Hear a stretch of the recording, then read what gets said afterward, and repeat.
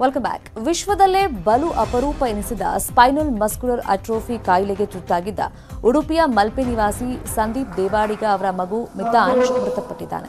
ಚಿಕಿತ್ಸೆಗಾಗಿ ಸಾರ್ವಜನಿಕರಲ್ಲಿ ಸಹಾಯ ಹಸ್ತ ಚಾಚಿದ್ದ ಕುಟುಂಬಕ್ಕೆ ಮೂವತ್ತೆಂಟು ಲಕ್ಷ ಹಣ ಸಂಗ್ರಹವಾಗಿತ್ತು. ದಾನವಾಗಿ ಬಂದಂತ ಈ ಹಣವನ್ನು ಈಗ ಸಂದೀಪ್ ಅನ್ಯರಿಗೆ ಮೀಸಲಿಟ್ಟಿದ್ದಾರೆ.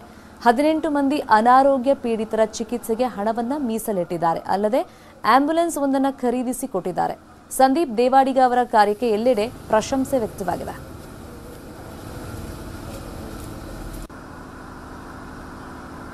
ಮಗನ ಹೆಸರು ಮಿತಾನ್ಶ್ ಎಸ್ ದೇವಾಡಿಗ. ನನ್ನ ಮಗನಿಗೆ ಬಂದು ಎಸ್ ಎಂ ಎ ಕಾಯಿಲೆ ಅಂತ ಇತ್ತು. ಎಸ್ ಎಂ ಎ ಅಂದರೆ ಸ್ಪೈನಲ್ ಮಸ್ಕ್ಯುಲಲಿ ಅಟ್ರೋಪಿ ಅಂತ. ಅದಕ್ಕೆ ಹದಿನೆಂಟು ಕೋ ಹದಿನೆಂಟು, ಹದಿನಾರು ಕೋಟಿ ವೆಚ್ಚ ಇತ್ತು ಒಂದು ಒಂದು ಇಂಜೆಕ್ಷನ್ಗಾಗಿ ಸೊ ಅದಕ್ಕಾಗಿ ನಾನು ಜನರಲ್ಲಿ ಮೊರೆ ಹೋಗಿದ್ದೆ. ನನಗೆ ಈ ಥರ ಸಹಾಯ ಬೇಕು ಅಂತ. ನನ್ನ ಅಕೌಂಟಿಗೆ ಬಂದು ಮೂವತ್ತೆಂಟು ಲಕ್ಷ ಬಂದಿದೆ. ಮೂವತ್ತೆಂಟು ಲಕ್ಷ ಬಂತು. ಮತ್ತು ಇದು ಕ್ರೌಡ್ ಫಂಡಿಂಗ್ ಇದು ಅಮೌಂಟ್ ಇದೆ. ಅದರೊಂದು ಒಂದರಲ್ಲಿ ಎರಡು ಲಕ್ಷ, ಇನ್ನೊಂದರಲ್ಲಿ ಮೂರು ಲಕ್ಷ ಬಂದಿದೆ.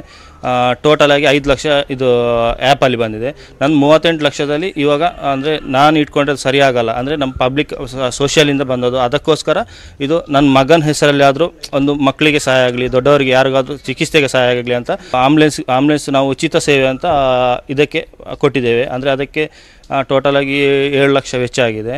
ಅಂದರೆ ಮತ್ತೆ ಬಂದು ಟೋಟಲ್ ಹದಿಮೂರು ಜನಕ್ಕೆ, ಅದು ಹದಿಮೂರಲ್ಲ, ಹದಿನೆಂಟು ಜನಕ್ಕೆ ಟೋಟಲ್ ಆಗಿ ಇದು ವೈದ್ಯಕೀಯ ಚಿಕಿತ್ಸೆಗಾಗಿ